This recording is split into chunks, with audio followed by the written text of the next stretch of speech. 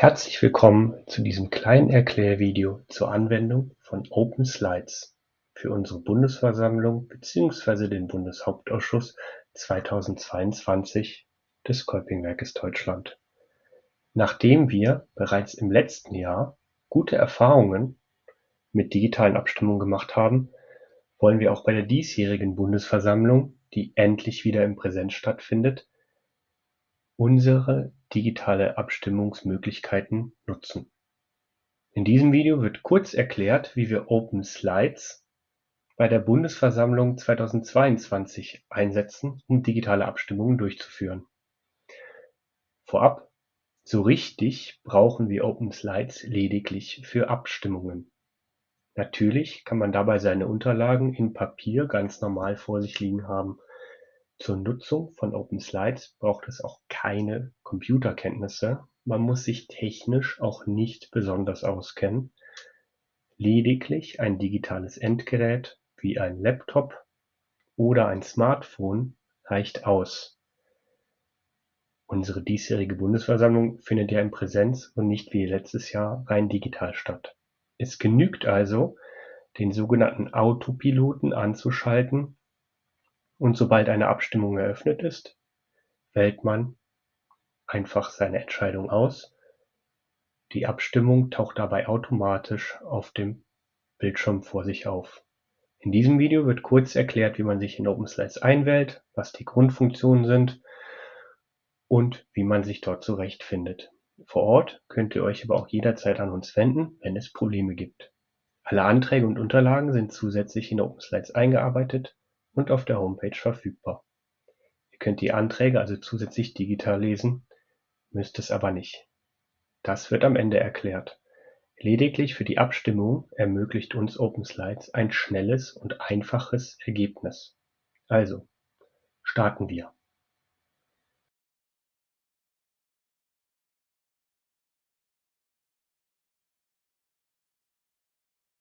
Anmeldung alle Teilnehmenden haben eine E-Mail erhalten mit dem Link zur Bundesversammlung sowie dem individuellen Benutzernamen und dem Passwort. Der Nutzername setzt sich zusammen aus dem Vornamen und dem Nachnamen, Passwort ist die Mitgliedsnummer, die auch auf dem Delegiertenausweis vorne drauf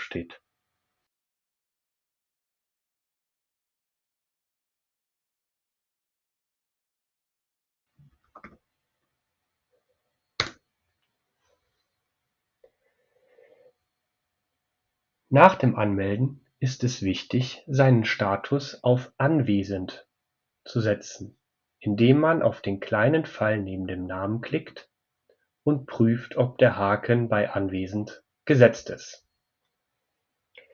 Um dem Verlauf der Bundesversammlung zu folgen, genügt es, auf den Autopiloten zu klicken. Hier werden aktuelle Abstimmungen und der aktuelle Beratungsstand angezeigt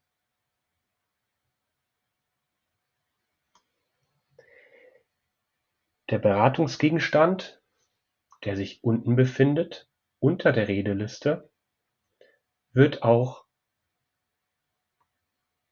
in der Bundesversammlung auf der Leinwand gezeigt.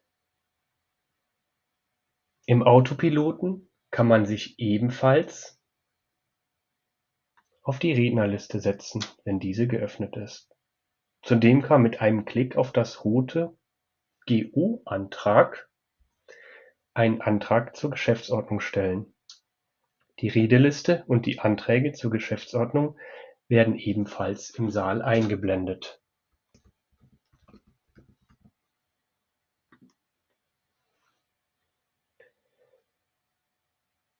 Um sich auf die Redeliste zu setzen, genügt ein Klick auf Füge mich hinzu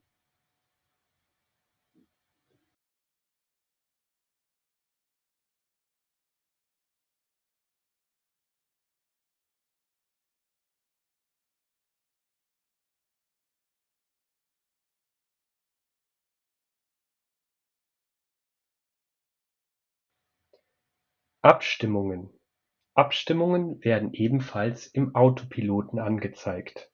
Zudem wird oben eingeblendet, falls eine Abstimmung eröffnet wurde. hier sichtbar.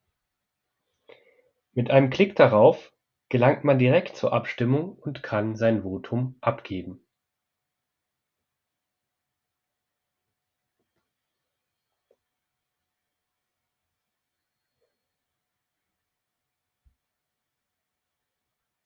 Die Auswahl ist einmalig und kann danach nicht mehr geändert werden. Falls man nicht mehr weiter weiß, sobald man den Autopiloten anklickt, gelangt man zurück zum aktuellen Beratungsgegenstand.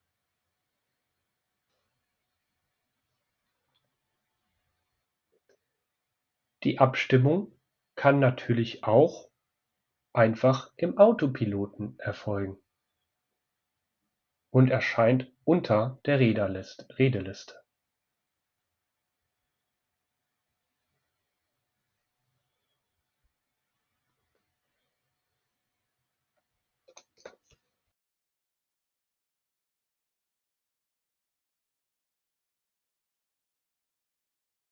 Anträge und Unterlagen Der Erst- und Zweitversand ist allen Delegierten postalisch zugegangen.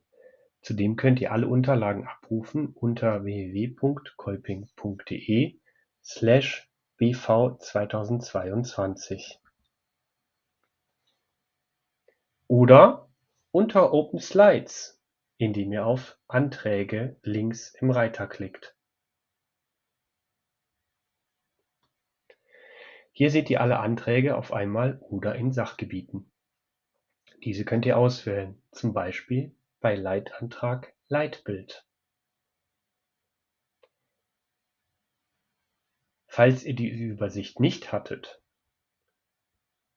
und es so aussah, könnt ihr mit einem Klick auf das Kachelsymbol die Anträge in Sachgebieten sortieren. Bei einem Klick auf das Sachgebiet seht ihr alle Anträge zu diesem Thema. Der Leitantrag Leitbild von Kolping Deutschland ist aus technischen Gründen in drei Teile aufgeteilt, wobei die Zeilennummern aber eurem postalischen Versand entsprechen. Die Änderungsanträge sind im Antrag selbst eingearbeitet. Ihr seht diese auf der linken Seite. Mit einem Klick auf dieses werdet ihr alle Leitanträge hier nur für den ersten Teil sehen.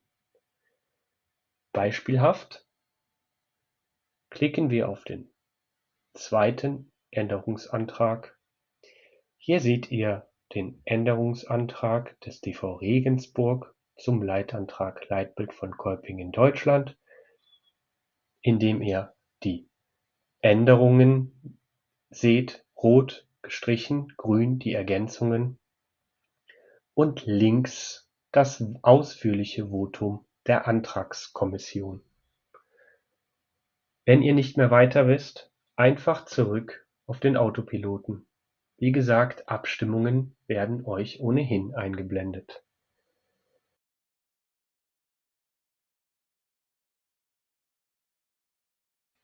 Initiativantrag Natürlich könnt ihr wie gewohnt einen Initiativantrag analog stellen und die für die Zulässigkeit bei einer Bundesversammlung notwendigen 30 Unterschriften (bei einem Bundeshauptausschuss 15) analog einsammeln. Auch digital lässt sich ein Initiativantrag stellen und unterstützen. Hierfür auf Anträge, oben rechts auf Neuer Antrag den Titel eingeben.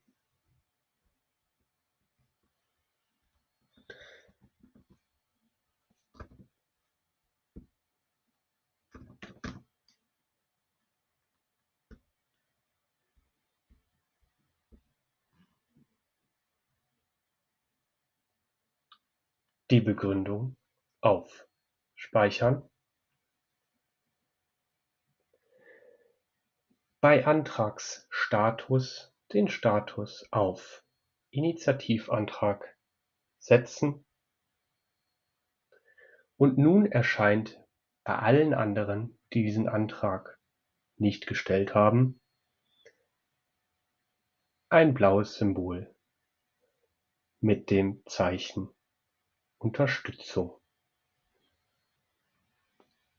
Alle anderen, die diesen Antrag also unterstützen wollen, klicken auf Unterstützen. Und jetzt viel Spaß bei der Bundesversammlung bzw. dem Bundeshauptausschuss 2022. Und natürlich könnt ihr Open Slides in vollem Umfang nutzen, auf Anträge zugreifen und Initiativanträge stellen. Aber das geht auch weiterhin analog. Wir nutzen dieses Tool lediglich für digitale Abstimmungen. Dies ist auch ein Wunsch aus der Bundesversammlung 2021, die ja rein digital stattgefunden hat und die die Abstimmungsergebnisse schnell und präzise mit Open Slides für alle sichtbar machen konnte. Bei Problemen oder Fragen könnt ihr euch vor Ort jederzeit an uns wenden. Probiert gerne die Funktionen, insbesondere den Login im Vorfeld der Bundesversammlung aus